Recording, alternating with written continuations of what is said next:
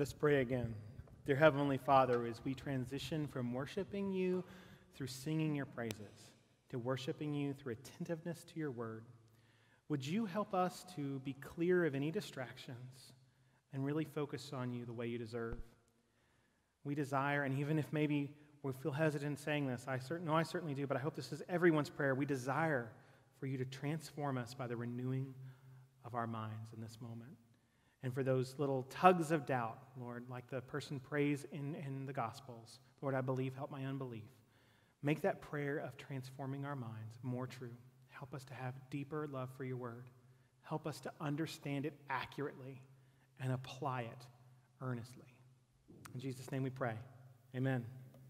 Today we're going to begin with a little bit of a review. We're going to finish up James today, not just chapter 5, but the entire book. I love the book of James. It's been uh, very direct, very blunt. I love how the Holy Spirit will use people in a way that you can tell their personality. He doesn't erase us, He doesn't make us robots. Uh, he uses the personality that God had created in James. And James can be very straightforward, we'll say. And James had just issued a strong warning of coming judgment to a group of folks. We realized it wasn't all rich folks, but rich folks in that day and age who were abusing people. And given the current state of their world, and really in parallel to the current state of our world, with lots of, lots of issues and lots of injustices that people could visibly see and were drawing, drawing their attention to, he said the following Therefore, be patient, brethren, until the coming of the Lord. The farmer waits for the precious produce of the soil, being patient about it until it gets the early and late rains. You too be patient. Strengthen your hearts, for the coming of the Lord is near. Do not complain, brethren, against one another, so that you yourselves may not be judged. Behold, the judge is standing right at the door.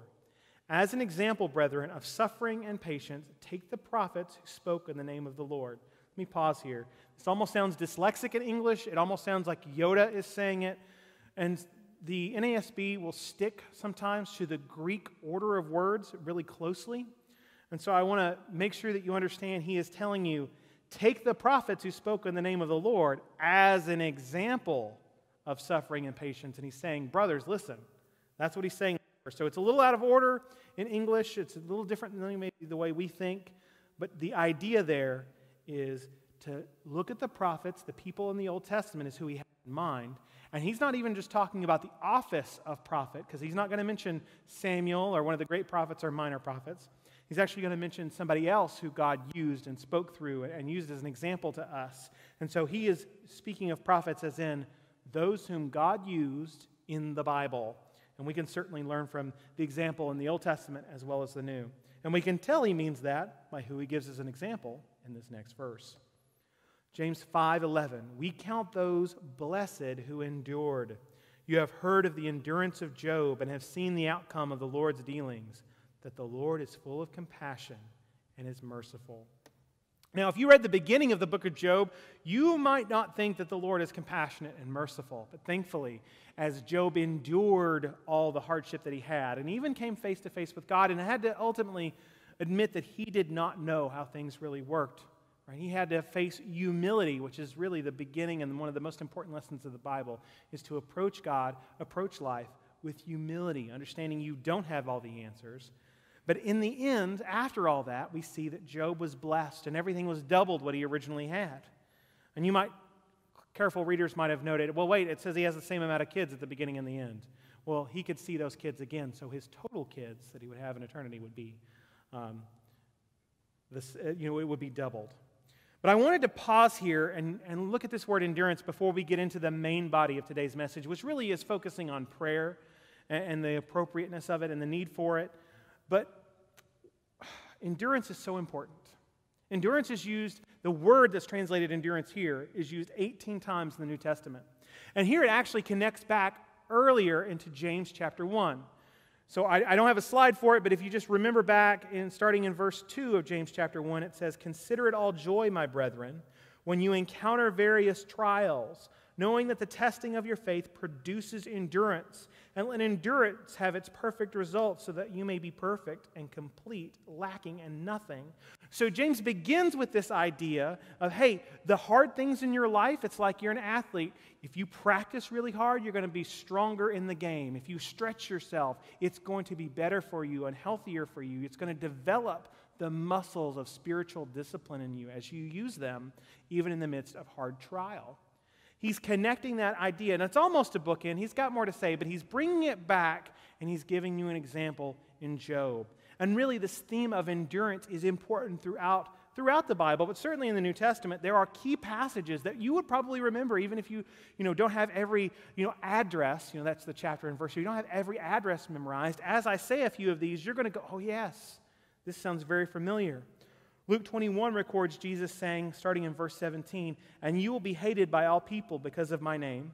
You don't hear that one in the Bible promise books or, or in the name it, claim it crowd very much, but it's important because that's connected with endurance. There is, there are obstacles on our way, and many of them, if we're walking with Christ, will come because we're following Him and not the world. But he goes on to say, Yet not a, pa- not a hair of your head will perish. By your endurance, you will gain your lives. Their endurance. And he says lives. Let's put that in the context of Jesus' teaching. How do we get our lives? How do we gain our lives? By losing them. He's not talking about, you know, you're going to save yourself in this life. He's talking about eternal life. Eternal life involves endurance. Hebrews 12:1 calls us to run with endurance the race that is set before us. And so James is continuing this idea that's throughout the New Testament. Romans uses it four times and connects it with our hope. Our life can sometimes be difficult. Now, I hope that I don't err and, and focus on this too much because there is times in our life that is joyous and we want to spread that joy and we want to share it with others. And there is joy to be had not connected to our moment. But especially in light of COVID and the wildfires and being in a, in a partially burnt down home this week, this, this really resonates with me. And I wanted to pause and just do this because so often we hear, even inside the church, about how great life can be. And sometimes young Christians, they sign up, you know, they sign on the dotted line, they become a member of the church. And then the first time a hardship happens, they go, wait a minute, whoa, I didn't sign up for this. I thought the Lord was going to bless me and everything was going to be awesome now that I had Jesus. That is not how it works out. That is not how it worked out for the early church followers, of the early church leaders. That is not how it works out for us today. That is not actually how Jesus said it would work out. We have our hope in Him. We are not citizens of this world. And in a very real sense, we are just pilgrims passing through. And in our moments of sadness we, and, and difficulty, you know, maybe if you use that pilgrim language, if, you know, we had a long ride or, you know, our wagon is down or whatever, when we're at the, the kind of the fire at the end of the night and we gather around, we say, hey, it was a hard day, but we're almost there. We're getting there. And that's what we're supposed to do. We're supposed to encourage one another, and we are supposed to work forward and push past our difficulties. Now, there's lots of theological issues around um, people who endure and people who don't. Jesus in Matthew connects endurance to those that bear fruit on the parable of the soils that you know it was good soil and they bore fruit.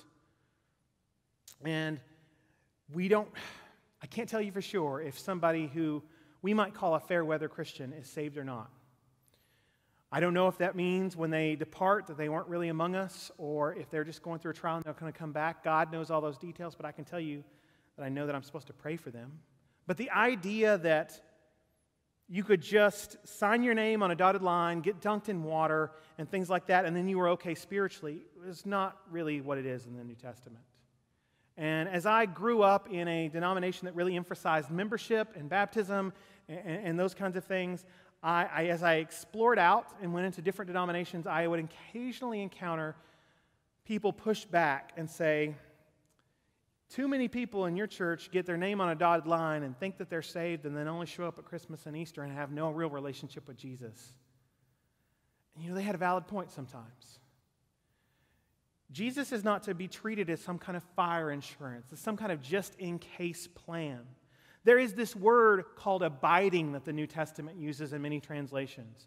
I've taken that, and really the modern version is, is active. So if I define faith for you in a biblical manner, I, I believe biblical faith is an active trust based on evidence. It's not based on what we don't know. That's the world's idea of faith, right? Hebrews says it's the evidence of things unseen. David knew that he could tackle Goliath not because he was crazy and thought, oh, you know, I'm just going to run and maybe I'll make it with a giant. He had the boldness there because he trusted and said, God got me through the lion and the bear. I know God delivered my people. I know God is a good God. I know this is right. I'm pushing forward. It's based on what we know, not what we don't know. But faith must be abiding, that is, it must be active. That means that we pray whether we feel like it or not, and that's going to become important later. That means that we continue on our faith whether the world is crazy or not. And unfortunately, sometimes in the midst of things, when the world pushes and pressures and things like that, some people will fold and go, Well, I guess I'll side with the world. Now, they don't usually make it that decision. They usually find some excuse or they try to justify it in some way or something along those lines. Or maybe, you know, they just, mm, I won't do that. Or I'm not like those Christians or, or whatever. But we do find some that, that don't abide. And I want to encourage you that abiding is the right thing to do, and you're going to need to do it. When world gets tough and you're very much tempted to curse God, and, and you know, Job's wife, Job's wife encouraged him to just curse God and die. Uh, not, not the best spouse relationship. When you are feeling that that's the way to do, like it's to give up, that is the time that it's even more important to abide, to continue in Jesus, to continue the trust, and to hold on, this is short, this is hard, Maybe even count your blessings and go, God got me through X, Y, and Z. He's a big God. He's got this too. So, James, as he's moving towards prayer, because prayer is going to be an important part of that abiding, we're going to need continued constant communication. Can you imagine thinking, I'm staying in a relationship with my spouse? I mean, we don't live in the same house or even the same earth, or with any other oath, but your yes is to be yes and your no, no so that you may not fall under judgment. So you can't swear by heaven or earth. Of course, we know that heaven's God's throne, earth is God's footstool. You don't own them. But did you catch that? As he's wrapping up his book, he says, above all. This is something he puts a lot of emphasis on, right? He was chiefly wanting them not to do this. Now, he didn't mean swear in the modern sense. Now, please don't. I'm not encouraging you to cuss like a sailor, okay? But I'm also not condemning you if something falls on your foot and you say a bad word, right? Uh, confess, confess your sins before God, and sometimes words like that, you know, they come out. But that's not what he's talking about. He's talking about swearing an oath or swearing a vow. And he didn't mean all legal oaths. Now, we've talked about this before, so I'm not going to redo this. I know it might, maybe it's been a year. But Jesus, even when he was at his own trial, was put under a type of legal oath. So he's not talking about that. He's talking about something uh, more in line with that last section. And Jesus said it this way But let your statement be yes, yes, or no, no. Anything beyond these is of evil. The Jewish people to whom James was writing was very aware of taking inappropriate oaths and the dangers thereof it. So Ecclesiastes 5:5 says, "It is better that you should not vow than you should vow and not pay." And there are examples of people taking vows and then it coming back to bite them. And we're going to, the next book we'll go through is Judges, and we're going to get to one of those examples when we get there. There'll be a couple of weeks. You know, we're going to talk about some other things kind of topically in between there, but then we're going to go to Judges, and we're going to see some of those examples where people took vows that they should not have and then had to pay for it. But you don't really own anything, so you should not be vowing on heaven and earth. Now, you might be tempted to go, I own stuff. I drove in a car here. I own the car. Maybe the bank owns the car. Let me demonstrate my point to you a different way.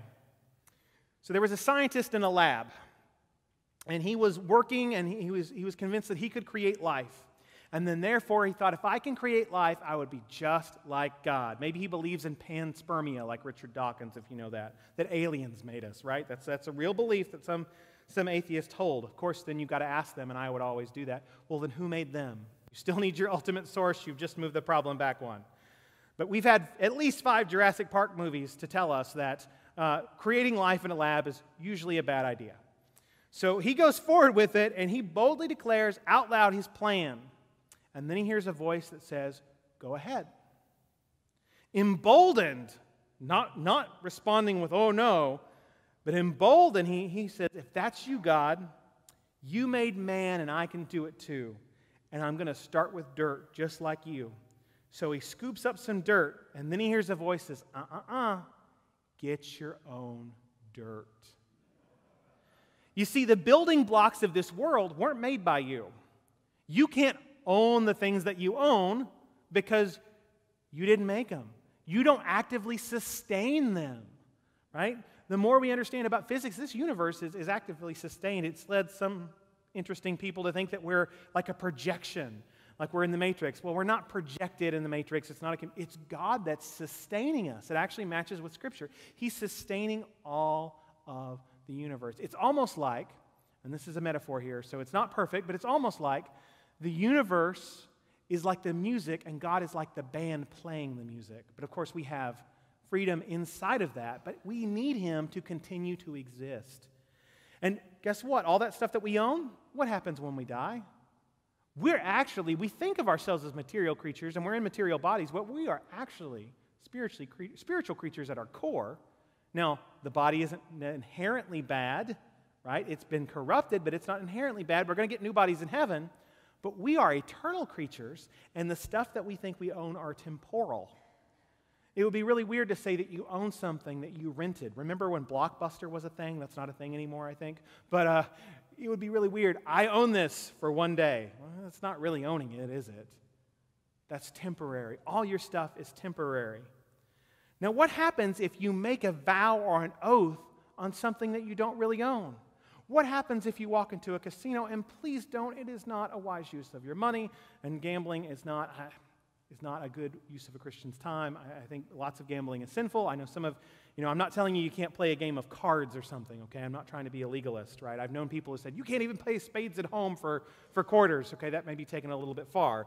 But, but say you do walk in and you, you place a bet and you lose, but the thing you put on the table was a set of keys to somebody else's car. How are you going to pay? Because that ain't really your car. So, James is warning don't try to cash checks for stuff that you don't actually own because you might find that things are going to come due and you're going to have to pay some way, but it won't be with what is God's stuff if you got yourself into that.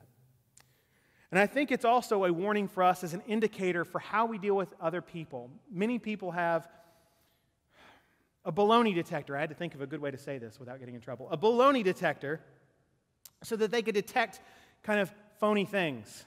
If someone is, and I don't don't misunderstand me, I'm using this as an example. I'm not trying to take God's name in vain. If somebody constantly says, Well, I swear to God that I will do this, I swear to be very leery I think it's a lot like Shakespeare, and this is my favorite quote. I know I'm a hillbilly, and sometimes I say this a little wrong because I always read Shakespeare instead of actually um, watching a play. Uh, you know, when you're a hillbilly in public school in Kentucky, you can't really go and see Shakespeare plays. So they made us read the plays. But um, I think thou doeth protest too much. Sometimes there is a character flaw that you can catch, and I want you to catch this for your own safety so you don't get tricked where people are swearing by things and making a big deal of how firm their promise is. Well, why do they need to do that? Sometimes it's because they know deep down inside that it is not really a firm promise and they don't really mean that. So instead, just both for yourself and for the people that you do business with and go around, look for people who are just consistently telling you what they're going to do and then doing it and keeping their word, being consistent. It is a wonderful witness to all the people around. It's what we could, might call somebody as trustworthy. We want people to think of Christians as trustworthy people because we're telling them something that many of them have a hard time believing with that there's an eternal life, that there's a heaven to be gained and a hell to lose, or, or a hell to spend eternity in. We, if we're going to be serious about that, we need them to trust us in everything. We need them to see that we are we have good reasons for what we say and that we keep our word. Because unfortunately, they shouldn't, but unfortunately, the reality is, is they will use our mistakes or any lie by us as a reason to reject Christ. They shouldn't, but they will use it as an excuse. Let's continue on and let's focus on prayer for a bit. Especially with that heavy weight, maybe we need some prayer. Is anyone among you suffering? Then he must pray. Is anyone cheerful? He is to sing praises. Romans 12 15 was the first verse that came to mind. It's very similar, uh, at least in, in my eyes. It says, Rejoice with those who re- rejoice and weep with those who weep. So if there's anyone among you and they're suffering, well, then it should be a plural activity. And if there's anyone that is, that is uh, rejoicing, that should be a plural activity. Uh, by that I mean we're a community. Things should be done together. And you know that there's something to this. You know that when you see your little kid running at you with a big smile on their face, arms wide open for a hug, it doesn't matter how bad your day is, it just got a lot better. At least for me. I mean, even a puppy, you know, a little puppy wagging its tail, you know, that, that brightens you. Joy is something that is contagious. And so is dealing with sorrowfulness or pain. And sometimes when you're sorrowful, you don't want to pray. Remember, Job's, Job's wife said, just curse God and die, right? Not, not a, what we would call a healthy marriage. They needed some marriage counseling, okay? But sometimes you are tempted to just give up Pray when you don't feel like it, even if you are suffering. I hope you are not having the kind of relationship that God, that some people might have with their parents. And unfortunately, this, this does happen where you only show up and talk to them when you need money or when you need something, right? The parent, hey, I need rent, dad, could you uh, help me out? Or I need money to go to the movies. Or there is a time in a lot of teenagers and young adults' life where that is true, and hopefully people grow past that and then they understand. Usually, the joke is that from 18 to 25, parents get so much smarter than they were. Of course, they, they're not so much the ones that's changed, it's the, the young adult that has matured. But keep that in mind. We need to continue in endurance and pray with suffering, but also we need to make sure that we are encouraging each other to pray when we're suffering. I have a little cat, and you know I love my cat. Her name is Maxie. I didn't name her, my brother named her. It was supposed to be his cat. My cat, unfortunately, had, um, had, had passed away, and then I ended up with his cat. And I've had her for like 15 years now. So she's very clear, and she knows that she was here first, even before the wife. And She was with me in my bachelor pad, and she knows that. But she at least accepts the wife now. Uh, she accepts Heather and loves Heather and things like that, and she accepts the kids. But she knows, she thinks that I'm hers, and she will climb on me in my sleep sometimes, and I can feel that little paw. Now, my cat, if you've never seen her, is incredibly fat, right? Now, we're talking Garfield fat. And she's gotten a little better at the moment. We've got, with Judy's help, we've got her on a diet, and that's helped a little bit because she hurt her back. so we had to help her out. But she has these little paws, just four paws, and sometimes she can exert so much pressure on that one paw that it can hurt. As she climbs, it'll wake you up. You know, step on your kidney. You know, she stepped on my kidney when I had a kidney stone one time. And I lay on, ooh, not, not good, right? But if she lays down with her whole weight, then it doesn't hurt anymore.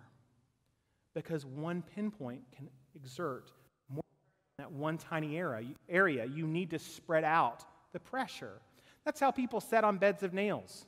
If you put pressure on one nail, bam, you're going to get it pierced through, whatever you're, you're using to put pressure on there. But if instead the pressure is uh, spread out amongst many nails, people can lay down very carefully on a bed of nails. Please don't do that, okay? I, I need a, like a little sign I can throw up that don't try this at home that I can throw up there. Don't try that at home. But do try to spread the pressure of the hardness of this life and share it with one another. If we see someone hurting, let's hurt with them. And you know what? There's something that supernaturally that happens that a little bit of that pain is taken away. Because James has pointed out earlier, prayer needs to be more than just, hey, I pray for you. We need to also meet their needs. Some prayers need hands and feet. And so as we pray for them, let's listen. Let's take a little bit of that burden. And you know what? If we do that together, something else will happen too. We also take a little bit of each other's joy or share it. And the great thing about joy is, as we sing, as we see people sing, I can think of seeing Katie up here in the choir sometimes singing with just a super smiling face like she has right now, and it just brings joy to my heart. Even if I'm a little distracted, even if I'm a little stressed out, just seeing how excited she is in worship excites me for worship. And so we should do that together as a community. But James has more to say, say about prayer. In James 5:14, and this is often what we think about prayer. We think about taking our needs to God. It should also be that we're praising God. But today we are going to look at this because this is a big, big chunk of what James is addressing here because he's wanting to give orders for how this should be done inside the church. Is anyone among you sick? Then he must call for the elders of the church, and they are to pray over him, anointing him with oil in the name of the Lord. You'll notice that there's some, uh, if you don't know Greek, you won't get the, uh, the particular word for sick, but think bedridden. But look, pray over. And then even here, we're going to see another word that hints kind of a, at a, a picture that James is using.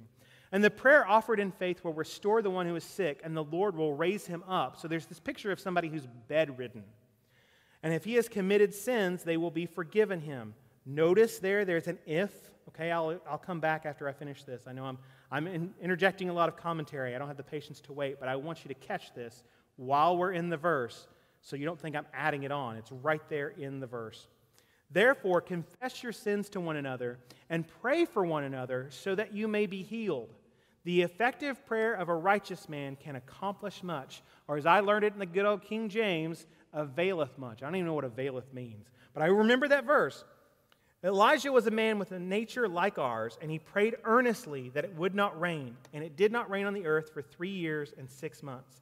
Then he prayed again, and the sky poured rain, and the earth produced its fruit. Now, I don't know if you realize this, but myself, the rest of the staff, uh, the elders that serve here, uh, yes, many of us have various giftings and we work together to serve you and we serve others in the community. But you know what? I'm not aware of one of us that has the gift of being psychic. I've not met one of us who consistently can read minds, right?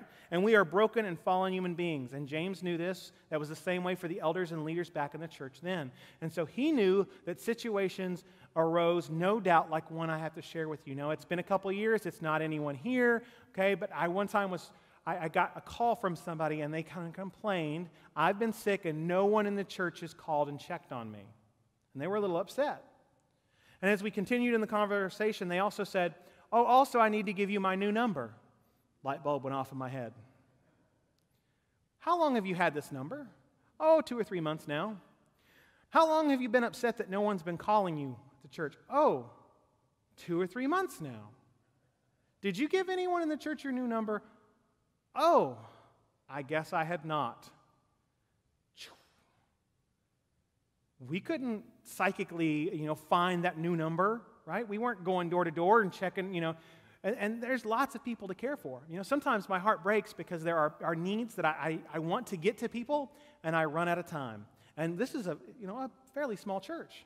In considering, you know, I have family members that attend massive churches. And, and I can recall one instance where a family member was really upset that her pastor did not come and see her in the hospital. And when I asked some more questions, you know, assistant pastor came, a Sunday school teacher came, and whatever. How many are in your church, anyways? Well, only 2,000. he probably just didn't have the time to get to you. That doesn't mean he didn't love you. It doesn't mean he wasn't praying for you. It's just that we can't, we're not superhuman beings. And so James lays this out, especially those that are bedridden, that are really bad, you know, we have to make priorities. Make sure that you get the word to the elders. So, guys, the responsibility is on you. I am happy to come to you. Chuck, eh, Chuck is great at this. Carrie is great at this. And we're, we're training up Kevin, and he's got some concerns. I was happy to see him, you know, pull somebody aside and just chatting away with somebody. It, we are, we're busy, but we will make time for you. That's what we are. We're servants, right? We're happy to do that. But we cannot do that if you don't tell us there's a need. And you know what? I've been guilty of this too. Sometimes I've been too worried about taking care of other people that I have kept my mouth shut when I've been in serious need of prayer and when I've been really upset or really stressed out. And I don't want to share that. And I don't want to be honest about it. And I don't want people to worry about me. And then if I'm not careful, I can be tempted to think, well, nobody asked me about anything. Hey, wait a minute. That's not how the Bible says that's supposed to work. I don't, we're not all supposed to be going around, you know, when people when people ask, How are you doing today? most of them don't really mean how are you are doing today. And, and, culturally, we do this thing where we say, Oh, I'm great, even if we're not. We shouldn't do that, by the way. But we need to be direct when we have a need and be clear and say, I, I need prayer. Here's why. Right? And so we confess that. And if there is sin, note that if, all sickness is not related to sin. We see this somewhere, uh, sometimes inside the church. I've seen this. I've had personal friends who have had lifelong illnesses get accused that they didn't have enough faith or that they needed to clean up their life. And I'm like, this person, they've got their Christian walk way better than me. They're living an example in, in intense pain. Why would anyone say such a hurtful thing? It's if sometimes the sicknesses are allowed. Jesus addresses this in the Gospels for the glory of God. Or we don't know exactly the fine details here, but we'll see it later. We'll find out the answer. But if there is sin, that can cause an issue. So, if there is, confess it. Right? And don't take offense if somebody asks, hey, I, have got this going on in my life, and they say, you know, is there anything you need to talk about? You know, maybe they're going to do it in a nice uh, ambassador style way to give you the opportunity. But really, oftentimes, sin is just the result, or sickness is just the result that we live in a fallen world. And it may not be our sin that causes the problem. We may be sick because of somebody else's sin. We may be hurt because of somebody else's sin. We may be hurt because a drunk ran a red light, caused a car crash.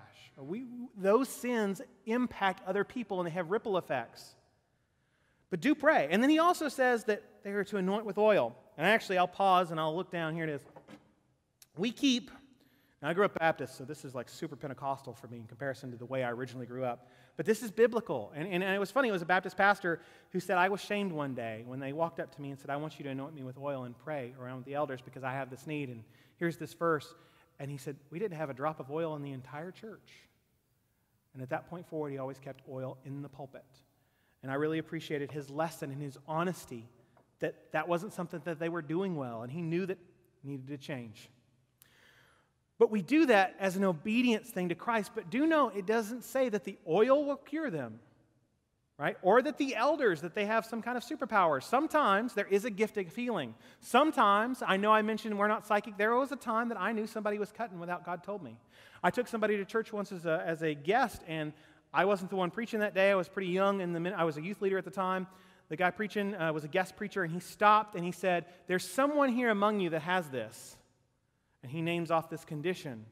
And this person that I had brought to church, I didn't know this, they had that condition. And so God spoke that into their heart, into their mind, just like he had with me with that one that was cutting. And sometimes that happens. I think sometimes that happens because we're not being obedient and telling people to pray for us. And God is so concerned that he will still stoop down and deal with us even in the midst of our disobedience. And will do so in a miraculous way because of his deep love for us. But generally, you need to tell people. And generally, most of us don't have a ongoing active gift of healing. And so we pray, and it's God that gets the glory. And even if we did have some gifting like that, guess what? Who gave us that gift? God. So who gets the glory? God. Every single time. Now, for the Jewish culture, they understood what this oil was about. For us, we might remember there is an instance in oil in, in Matthew, or I'm sorry, in the Gospels. I believe it's in Matthew, but I don't have the verse written down, so if I'm not, be a good Berean and look that up, where Jesus was anointed with oil. Uh, th- there's different times, but what they they are thinking of is things like the oil in the Old Testament. Think about little David, right? And I'm, when I say little David, I mean when he was little and also that he was little, right? He was, not, he was the runt of the litter, he was not the top dog. And so when Samuel was told to go and anoint David, the anointing that he did was actually the same anointing that was used for a priest, and it symbolized something very clearly. It symbolized the pouring out of the Holy Spirit on the person. And so, you know, Samuel went to David's dad and said, Hey, uh, I've been told to, to anoint one of your boys. Where is he? Is it this one? And they go through all the boys. Surely have another kid. God says it's no to each one of those. Oh, it's the ruddy kid out in the field. He's, he's the last kid. He's the run of the litter, but surely you don't mean him. Things are done by the firstborn son. Oh, no, let's bring him out and see. This is the one. At the time, David did not know that that was an anointing to be king right? I, I think that's an important thing to remember because it doesn't spe- explicitly say that. And the anointing that was used was one that was prescribed for priests, but he wasn't even the priestly line, and yet God anointed him. And I, I say all that to connect you with this. We are a royal priesthood, so God should be anointing each of us, right? And, it, and it's certainly God who's doing the healing, so we should obediently follow through with the symbol of God's healing the way He intended. And that's absolutely true. But don't don't make it a sideshow. Don't, don't overemphasize what God is using to heal somebody. And I've seen that. You know, we see these overemphasis on, on this particular oil or on these prayer cloths or look at this big tent revival. And some of that stuff becomes a show, and you focus on the gifts and not the giver. Please don't make that error. But he did. He encouraged them to let people know and then pray. But he says that a prayer of a righteous man availeth. And, I do know what that means. It, it matters, it does something. But it is a weird word. right? But it matters. The prayer of a righteous man affects much, it has a big effect. And I know that you probably think of this first, and that's why you call somebody else that you know of in your life that is, that is holy and walking a good life, and you, you want them to pray for you. And that, that's, that's a good thing. Nothing wrong with that. We should pray one for another. But as I read this, something different came and struck my mind. Because I, I often tell people, hey, whoa, you know, it's not like my prayers, if I say them and use more Bible verses, are more important than your prayers. Or if, I, if I'm a little more eloquent in the way I say a prayer, which is probably not the case because I'm a hillbilly, but if I do that, it's not that my prayer is more powerful. It's the person that we're praying to that's most important. And that righteousness, well, how is a Christian righteous? We have borrowed robes of righteousness. It is Jesus' righteousness. Chuck mentioned this a couple of weeks ago. Uh, when a Jewish follower was learning from a Jewish rabbi, a teacher, they would walk so close to him that they would want to get the dust that was kicked up out of his feet on, on themselves. They wanted the, the dust off of the master's feet. They wanted to be that close. As I thought about this passage of Scripture, and as I thought about the tragedy I, I was able to go to this week and be with the family as they endured their house, and thankfully, Austin, uh, the eldest boy, was saved. Actually, a neighbor had to bust through a window. As I thought about that, and as I thought about my own kids, I thought about being ready to pray. Because the reality is, is, each of you, people know that you go to church. People know that you are a Christian if you're walking in God, and people will lean to you, even if they're not currently in church, or maybe if they don't even know if God is real or not. They're not confident. They still will go to you. I've had people ask me that I know are not living a right life. When something happens, they come running and they want some prayer. And if I love them, and God and I have a relationship. I don't want there to be any garbage that would slow me down from getting that prayer there. Kind of like a relationship with a spouse. Sometimes there's a fight going on, and, and there's, or maybe even there's some distance, and the distance needs to be addressed because there's some things that are not talked about. There's baggage, we might call it, and garbage going on. The Bible also talks about not only sin, but weights, things that might weigh us down. And so I want, as I looked at my kids this week, as I thought about them, I don't want a tragedy to happen. But if a tragedy does, I want to be walking so close to my rabbi, to Jesus, that I'm tapping on, on his shoulder instantly, that I'm right there, that there's nothing I need to confess, that there's no problems going on, that I've been watching my mouth, watching my mind, taking every thought captive, that I'm checking myself, and that I'm walking with him so that I have the wisdom to pray appropriately, so that I know He's right there and we're close. Now, I'm not saying, I'm not trying to, to make you feel like you have to be legalistic, because thankfully there is grace and there is mercy. But what I am saying is if you really love the people around you, one of the best ways that you can love the people around you is to be as close to Jesus as you possibly can. Because in Him you have the access to the great physician and the mighty counselor. And I know that there are times when I cannot fix the pain in somebody else's life. I'd really love to. But the closer I am to Jesus, the closer I can connect them to Jesus. And I want to be able to do that in the most effective way possible. And I hope that's your desire too. So if I can't encourage you to live as holy as possible for yourself, this is a weird encouragement. Can I encourage you to pursue Jesus as much as possible and to live as holy as possible because you love some of those people around you and know that you are their connection point to Jesus right now. You want to get them to their having their own connection point, but right now, they might not know Christ yet. And it's through you. You might be the only, as James, a living epistle. You might be the only epistle that they would read. And then he closes like this My brethren, again, saying brothers, if any among you strays from the truth and one turns him back, let him know that he who turns a sinner from the error of his ways or way will save his soul from death and will cover a multitude of sins.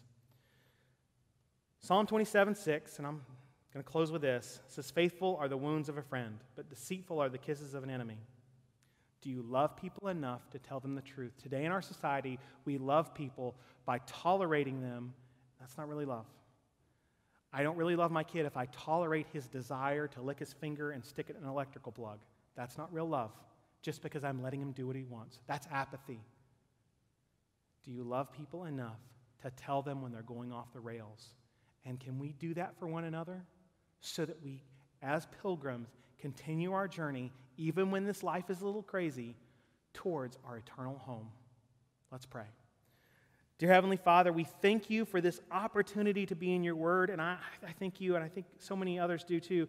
There's just a, a bluntness and a directness in James that sometimes we need in our society where politeness is, is confused with apathy, or love is confused with apathy. Very different things, but silence is not often love.